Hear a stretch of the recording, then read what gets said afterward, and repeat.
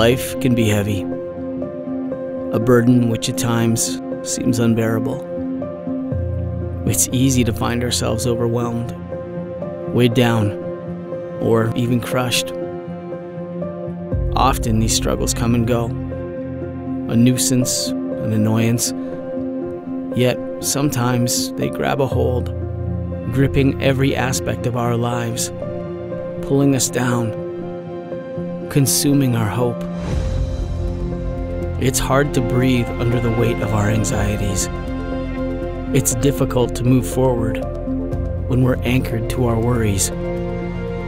But God loves us too much to let us stay this way. He wants to replace our anxiety with hope, our fear with courage, our worries with peace, and our burdens with freedom. In moments when life begins to weigh you down, remember this one simple truth. We serve a faithful God, a God who's offered to carry our burdens and asks us to cast all our cares on Him.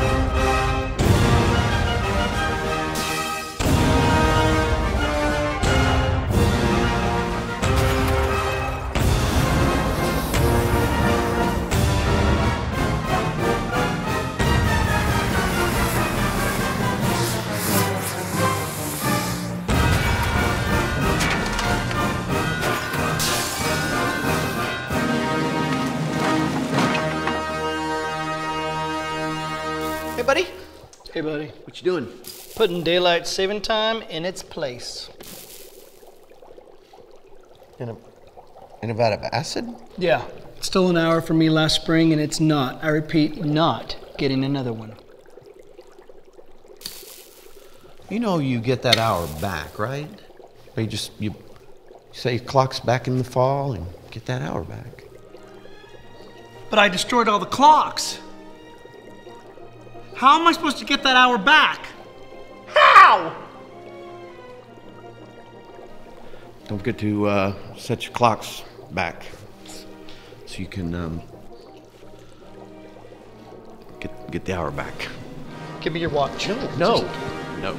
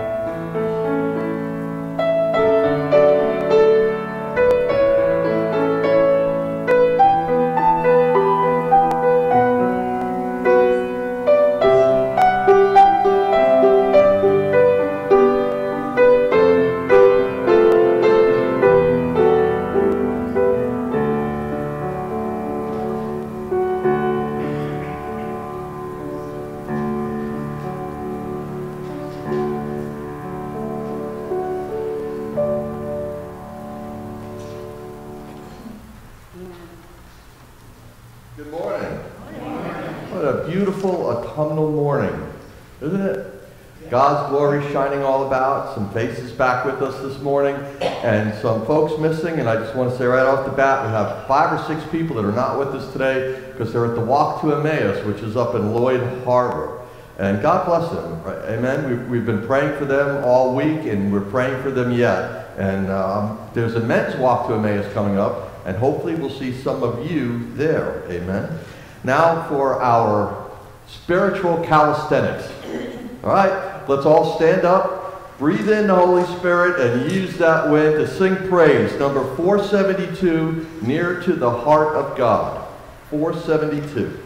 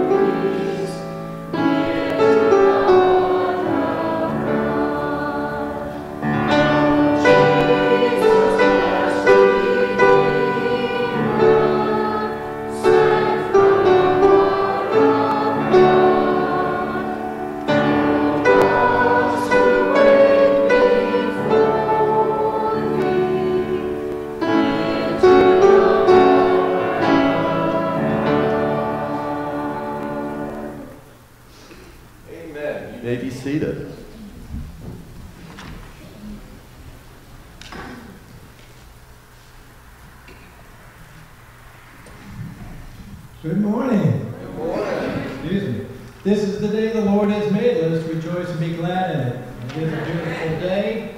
I hope everybody here has got their cars ready. We have trunk or treat at 12:30 after service today, so we're hoping to be a, a, shining beacon in the community for the young kids. Last year was a great success. So we'll pray that we have that similar turnout today.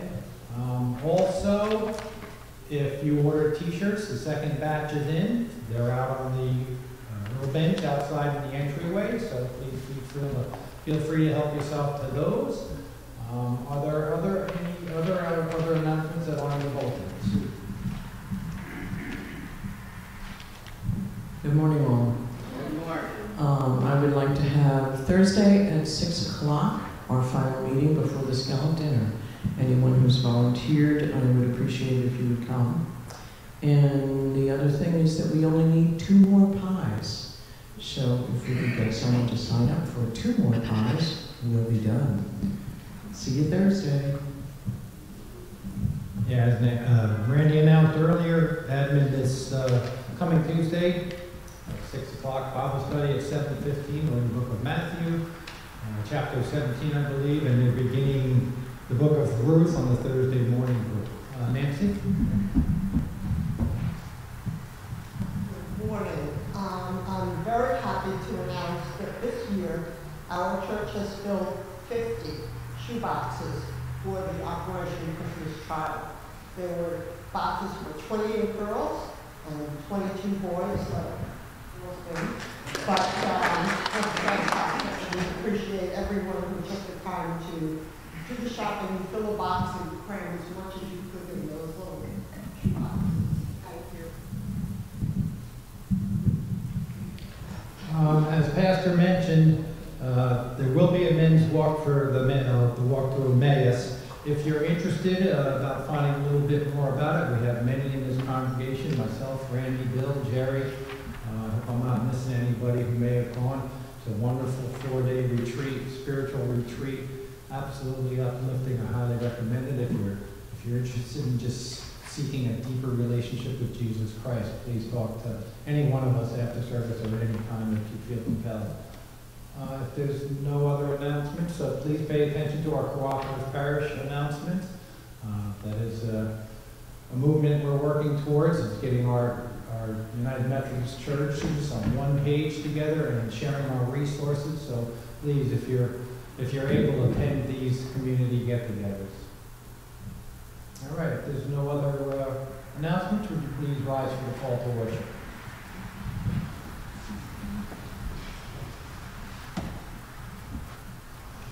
Oh, fear, he is a liar. He will take your breath. Stop your sex. Fear, he is a liar. Cast your fear in the fire. Because fear is a lie. Perfect love casts out all fear. We will not allow fear to separate us from the presence of God. Amen. We continue our service with our praise music.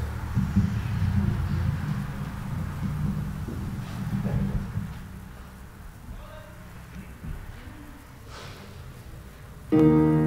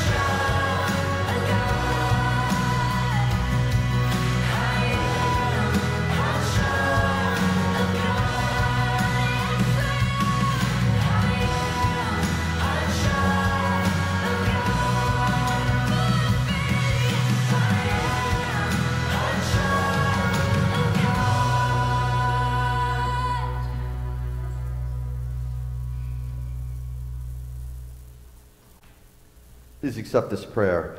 Heavenly Father, what a beautiful day that you've created. And we remember this is the day that you've created, so let us rejoice and be glad in it, Father. And let us rejoice. Let us not have fear of coming into your presence. And Lord, we ask for your presence to be mighty in this sanctuary this morning, Lord. Bring your Holy Spirit. Come, Holy Spirit, come. Fill our lungs, fill our minds, and fill our hearts with the truth that is the grace and love that comes from God alone through Christ alone. Lord, we welcome you in our sanctuary this morning. And all God's people said, Amen. Amen and amen. While you're standing, uh, we're going to do our offering this morning, but I ask you to remember, please remember, that the offering is more than a financial offering. God wants you. God wants you to serve in His kingdom. Amen. Everybody has a purpose to serve in God's kingdom. The purpose is worked out between you and the Holy Spirit once you've given your life to Christ. Amen? Amen. So, as Paulo regales us with his beautiful playing, please give generously for God's kingdom.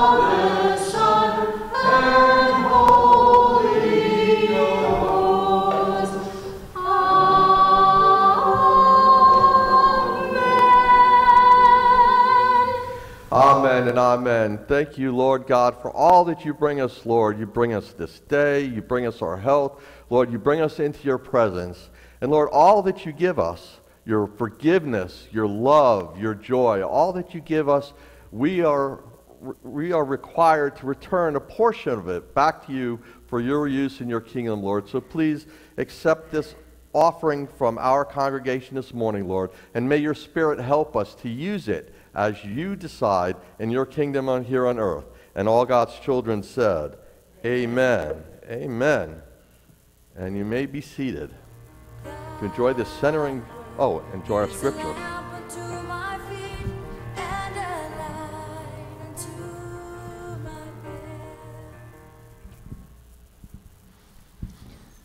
The scripture this morning is from 1 John chapter 4 verses 16 through 18. So we have come to know and to believe the love that God has for us. God is love, and whoever abides in love abides in God, and God abides in him. By this is love perfected with us, so that we may have confidence for the day of judgment. Because as he is, so also are we in this world. There is no fear in love, but perfect love casts out fear. For fear has to do with punishment, and whoever fears has not been perfected in love. The word of God for the people of God. Thanks be to God.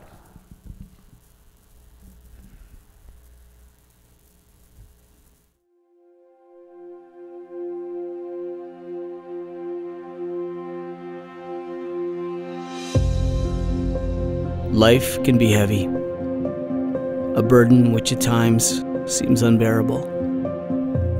It's easy to find ourselves overwhelmed, weighed down, or even crushed. Often these struggles come and go, a nuisance, an annoyance, yet sometimes they grab a hold, gripping every aspect of our lives, pulling us down consuming our hope. It's hard to breathe under the weight of our anxieties. It's difficult to move forward when we're anchored to our worries. But God loves us too much to let us stay this way. He wants to replace our anxiety with hope, our fear with courage, our worries with peace, and our burdens with freedom. In moments when life begins to weigh you down, remember this one simple truth. We serve a faithful God, a God who's offered to carry our burdens and asks us to cast all our cares on Him.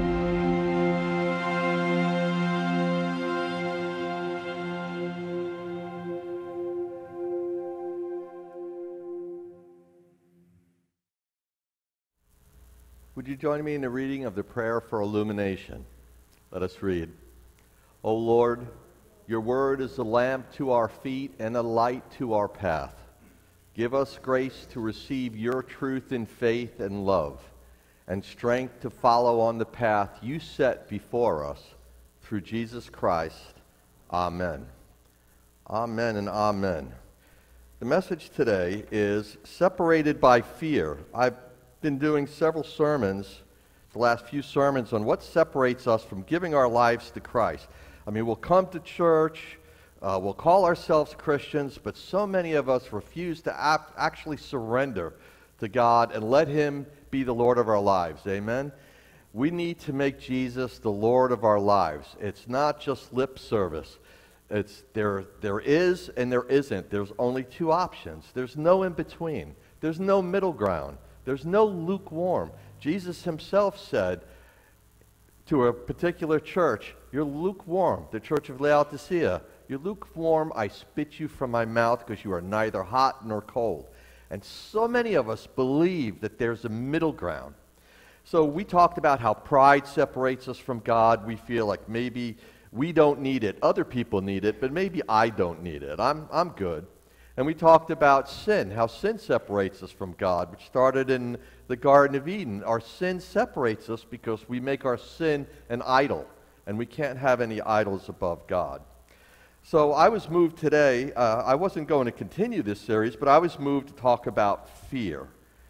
And the fear I want to talk about is the fear of giving your life to God, which is an actual fear. It's something I experienced because it's unknown. I didn't know what, what God would require of me. So I took some notes here. It says psychologists say that all of our emotions originate from three basic emotions, just as all of our colors come from three basic colors that are red, yellow, and blue, right? We mix them and we get every other color. So when we mix these emotions, we get all of our emotions. And the three root emotions, they say, are love, anger, and fear. So, love creates an attraction, right? When we love something, we're attracted to it. It draws us towards that thing.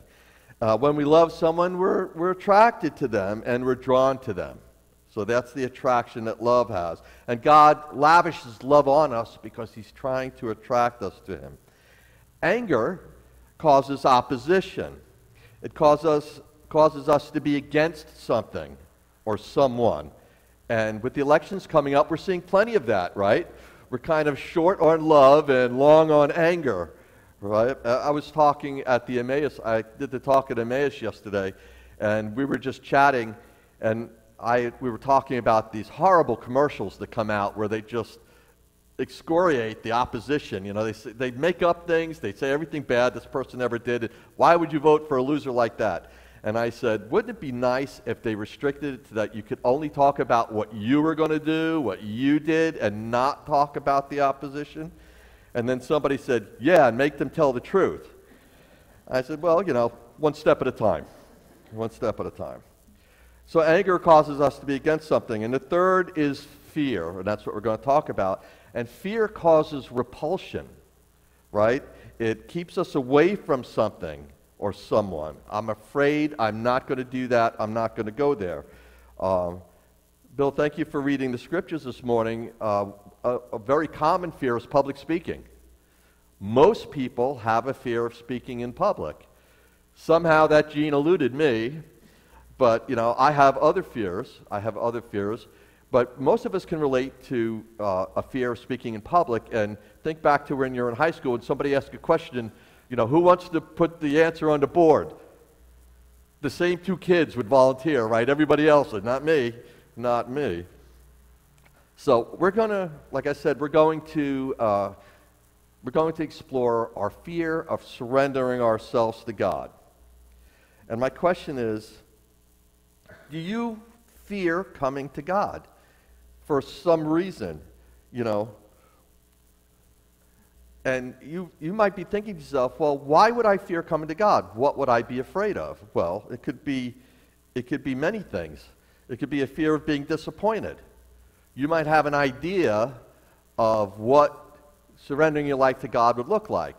And I'm going to tell you right now, your idea is wrong, all right? Because God's going to straighten you out when you surrender to God. And maybe that's what you're afraid of. Maybe you're so used to you being the idol of your life, you having all the answers to your life, that you don't want to get knocked off that pedestal, even if it is by God. Right? Maybe that's your fear. Uh, maybe you're being held back and you're, you're just hesitant to turn loose. Maybe you're just not that person to let go.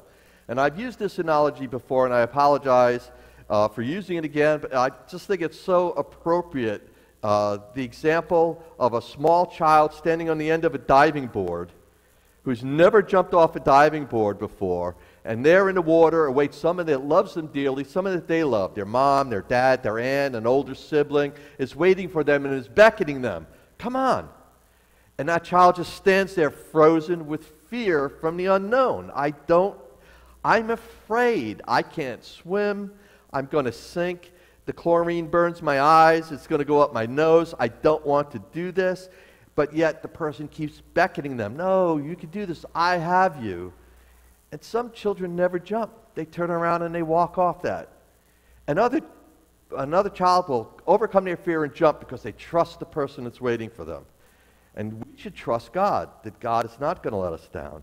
And we jump, and we get water in our eyes, and we get water up our nose, and we sink, and then all of a sudden we're brought back up to the surface, and everybody's laughing, and then you can't keep the kid off the diving board. And that's how it is with God. You know, and, and to carry that analogy a little further, imagine that you're at a public pool and there's all these kids, and some kids are jumping off that diving board into the water, and a lot of kids are afraid, but they're all at the pool. And some people come to the pool wearing their bathing suit, but it doesn't get wet. Right? They just sit by the side of the pool and they watch other people playing in the water. That's kind of like what church is like. Amen? A lot of people come, but not everybody goes in the water. Not everybody experiences the water. They might dip their toe in the water and say, next week. Next week. I don't, this is a new suit. I don't want to get this suit wet. Or some other reason. So, maybe you're wondering if the end of your search for God will result in disappointment, in rejection, or even greater uncertainty. Uh, rejection is important. I spoke with a lot of people this weekend. I, I spoke to some of the people here in the congregation, and you're not going to believe this, but there's problems in some congregations. And actually, when they found out uh, that I was from out here, some of them, they started sharing some of their concerns. And a lot of it has to do with rejection. Somebody comes into the congregation, and for some reason, some of us feel compelled to correct them, or to have a comment, or to whisper, or, or not even accept them, not to talk to them, to isolate them. All these things keep people away from God, and that's where our part comes in. Amen? We're supposed to be welcoming to everyone, everyone. And in this season, I'm going to say everyone, Republican or Democrat. It doesn't matter because we're not doing politics here. We're only doing Jesus here. Amen? And then Jesus will tell you who to vote for. the Holy Spirit will tell you who to vote for. Uh, that's not what we do here. So let's talk about fear. There's some confusion about the word fear in the Bible because in Proverbs chapter 1 verse 7 it says, "The fear of the Lord is the beginning of knowledge. Fools despise wisdom and instruction."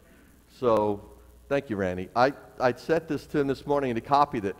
The word fear here, the Hebrew word is yair. That means respect, awesome, uh, reverence. That's what that word means. For some reason, piety, thank you. For some reason, well, there's many reasons. There's so many different words that are simply translated into fear in the Bible. But they have different nuances, they have different meanings. So we're not supposed to tremble at God except that we respect his power. Amen. We respect what he can do in our lives. And in the Bible it says, don't fear man who can only kill your body, but fear God that can dispose of all of you. Amen. So when we say fear God, it means to respect God and to have piety for God. There's other words. So that's Y I R E. Here are two more. Y A R E. See, it gets very subtle. Yar Amora is to be afraid or to be frightened.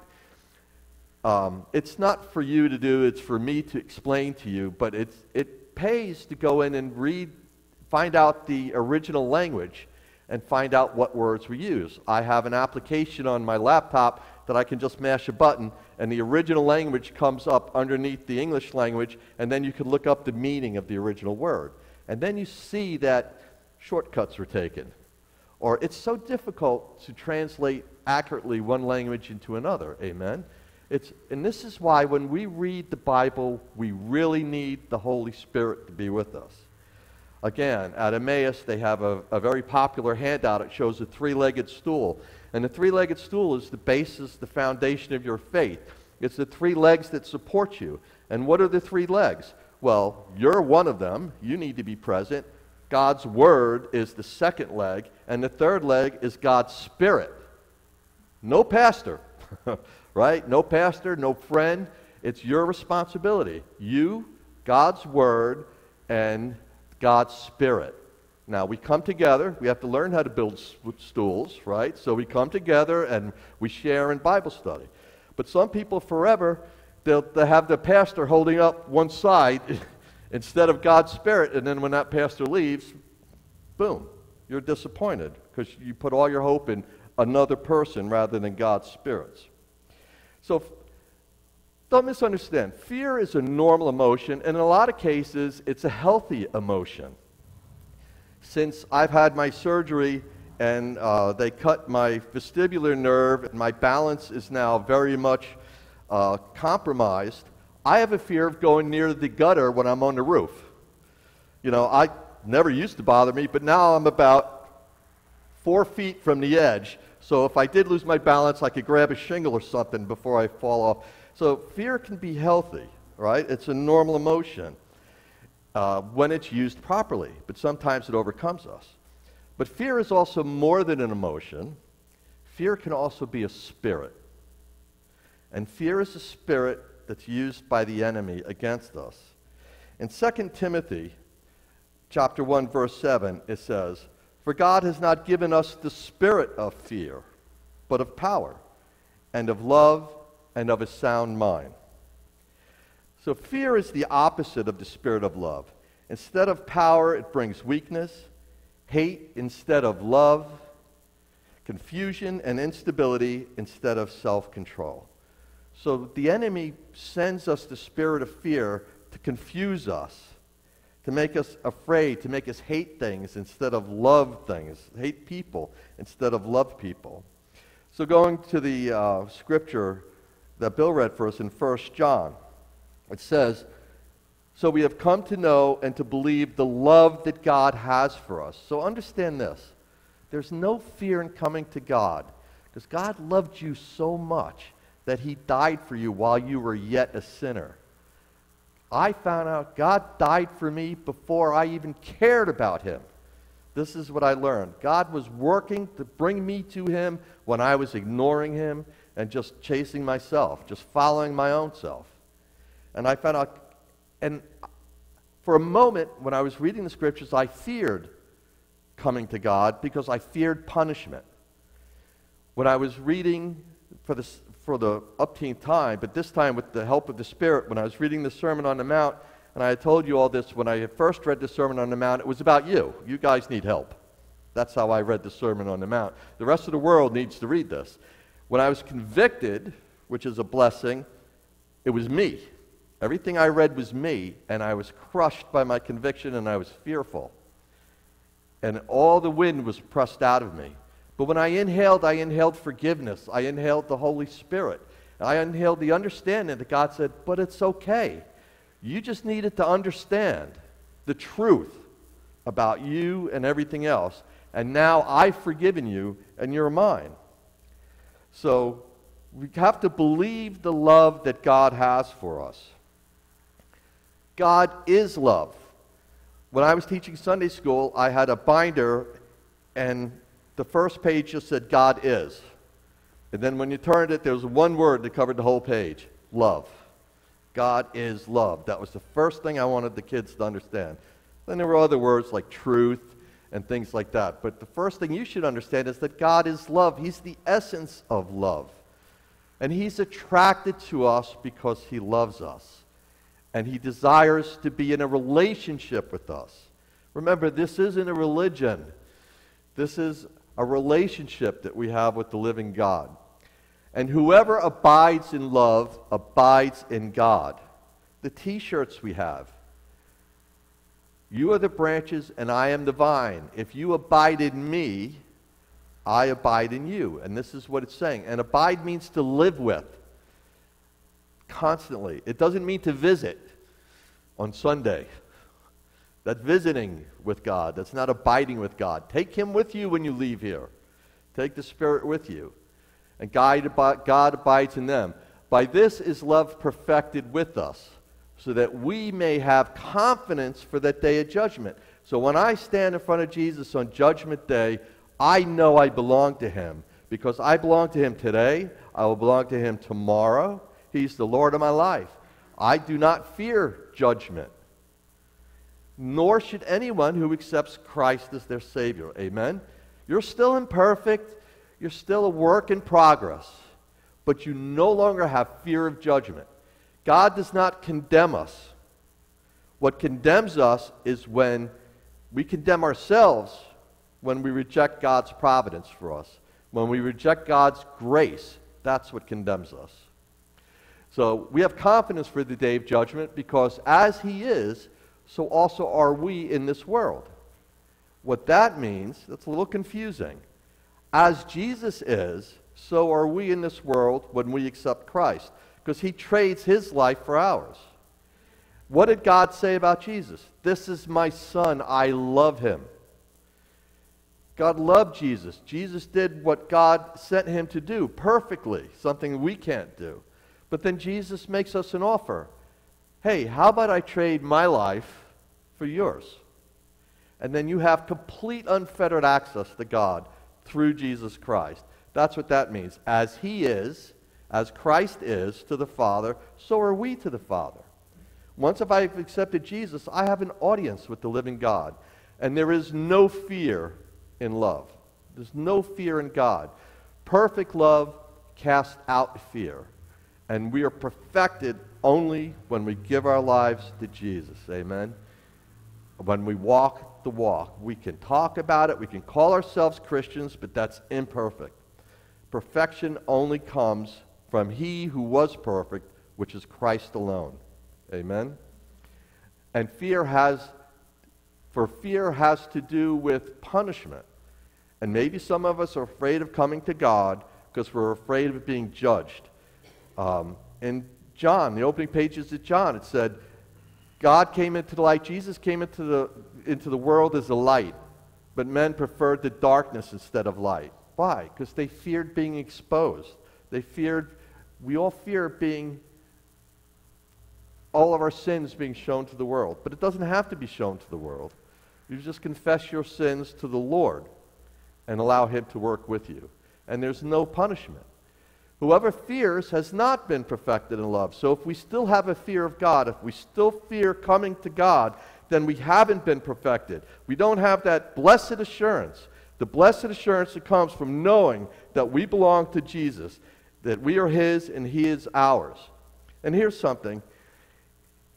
If, well, I wrote, what we will not confront, we will not overcome. How many of us are disciples of avoidance? I mean, there's always there's something all of us are avoiding. Right? For me, it's my term paper that's due Wednesday. I really need to read the books that I'm doing this paper on Wednesday. But I find everything else to keep me busy. Oh, I got to go to Emmaus. I got to get ready for Sunday. I'll find, and that's avoidance because I don't want to do it. It's a fear of doing it. And you know what? I'm going to pay a price for that. And we continually pay a price for what we fear. In Isaiah chapter 41, Isaiah tells us, Fear not, for I am with you. Be not dismayed, for I am your God. I will strengthen you. I will help you. I will uphold you with my righteous right hand. And you think, I don't want to go to God because I don't know what that means. I don't know what's expected from me. People will think I'm a Jesus freak, and you have all these fears and doubts in your mind, and God is telling you this. Stop worrying about it. You're going to be a new creation. Everything you need to do, everything you need to say is going to come from me. It's not going to come from you. So don't worry about it. Don't fear a life as God's servant. Okay? Don't fear that life. Change your incorrect notions of what that life would be like. Allow them to be transformed. That's the magic word. Don't be your old self. God created you perfectly. God doesn't make mistakes. We make mistakes. And the biggest, make, the biggest mistake we make is not allowing God to work in our lives to make us the person that He created us to be. And finally, in Romans chapter 12, my first and probably still my favorite two verses, it says, I appeal to you, therefore, brothers and sisters, by the mercies of God, to present your bodies, that's all of you, as a living sacrifice, holy, which means set apart, uh, set apart from the world, holy and acceptable to God, which is your spiritual worship. Do not be conformed to this world, but be transformed by the renewal of your mind, that by testing you may discern what is the will of God, what is good, acceptable, and perfect. I want to go back and just read this one thing. It says, By the mercies of God, to present your bodies as a living sacrifice, holy and acceptable to God, which is your spiritual worship. Spiritual, not physical. God wants us to come together physical, offer our offerings physical, right? That's something I could touch and sense, but He wants our spiritual worship.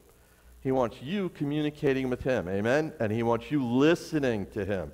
The great Shema, Hear, O Israel, which really, there's another translation error, which really means listen, O Israel, right? Big difference between hearing and listening. And then I, I, I want to close with this little blurb. It was a wrestling coach um, talking to his student, and I just love this. Uh, a kid was getting ready to wrestle, and my son wrestled. Uh, he only started in 10th grade, so he was awful. I mean, he had never wrestled. He lost every match he was in in 10th grade. But he went back in 11th grade. In 11th grade, he kind of broke even. 12th grade, he made the, the county finals. And he lost to the champion. That was the only guy he lost to. Because he didn't fear.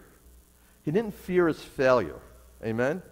He knew he wasn't going to win every match. He just wanted to compete, and he got better. So in this example, the kid comes up and he sees his opponent, and let's say he's a state champ. The state champ is never lost.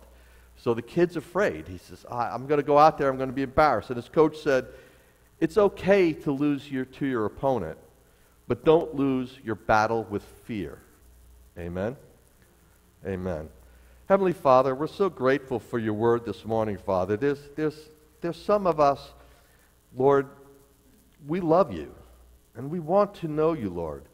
And, and we want the life that becomes, that comes with being yours. But Lord, we hesitate for many reasons. And today we're talking about fear. Uh, Maybe it's a, it's a fear of being ridiculed by other people that we, that we hang out with in the world that would mock us if, if we became Christians. Maybe we're afraid of what will be when we become a Christian. Am I going to be one of those weird Jesus freaks uh, that everybody mocks and makes fun of? Uh, am I going to have problems at work and in my life? Uh, and maybe we fear your judgment.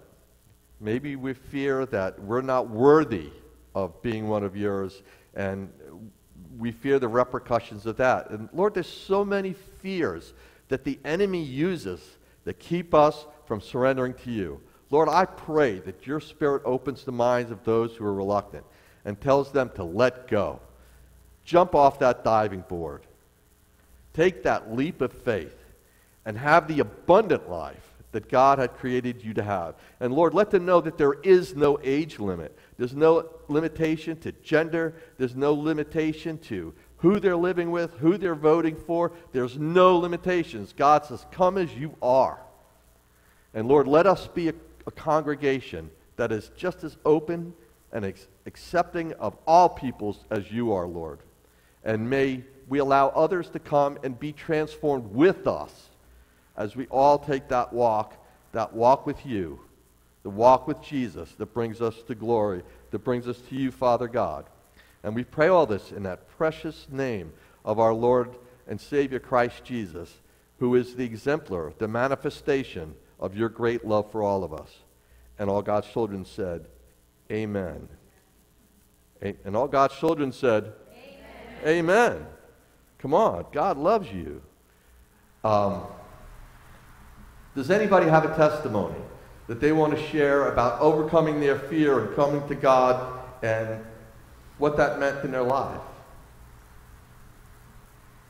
Now, I'm going to make you a promise. I'm going to give you an early Christmas gift. I'm going to shorten the sermons. Hey. So there's time for somebody to give a testimony, to give a witness. And I, I gave you a little bit of mine.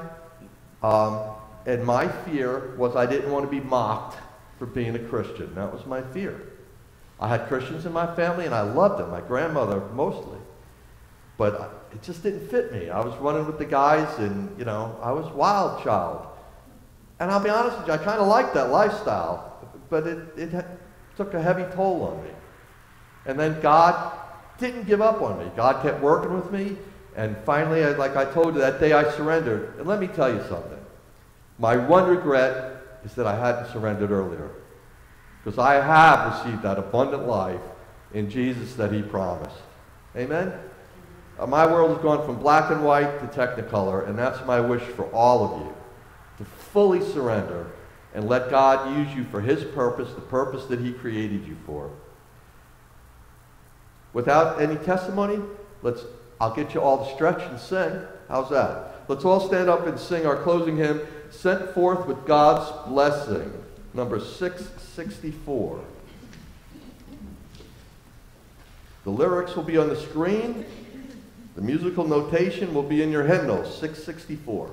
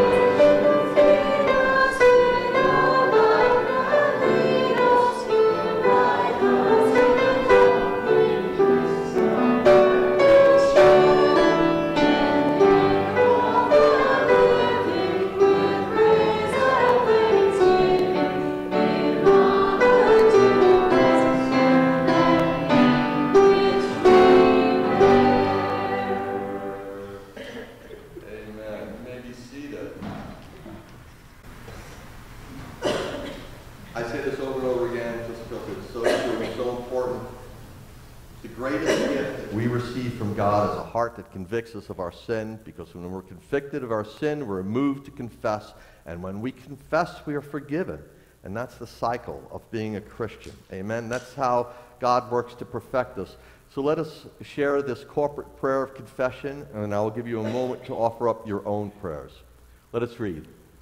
Loving God, I confess that I know more of Jesus than actually know him. I need to know him intimately so that I know that he is in me and I am in him. Then others will plainly see that I am a child of God and have passed from death into life. I confess that I have not submitted to your Holy Spirit that the truth might abide in me. In short, Father, I have not surrendered to the saving grace in Christ Jesus, so I still fear for the sins I have committed.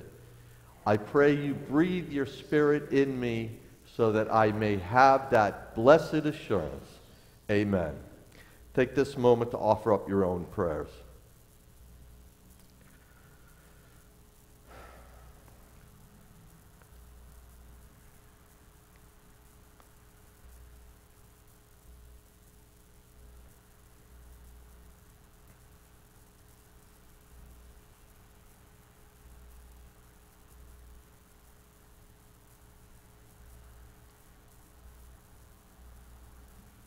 Now, hear the good news.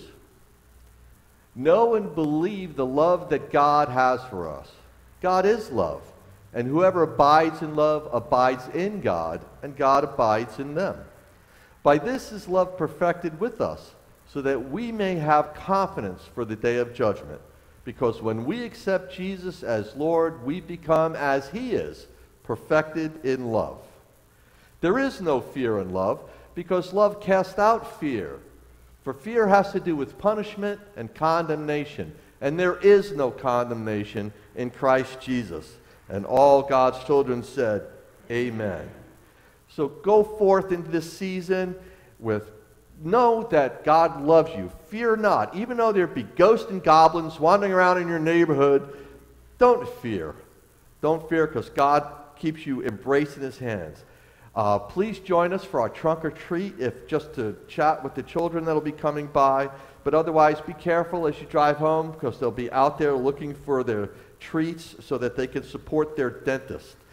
Have a wonderful, wonderful week. Come back next year ready to give your lives to Jesus. If anybody wants to share a prayer or give their life today, uh, come forward. There'll be men and women up here ready to pray with you.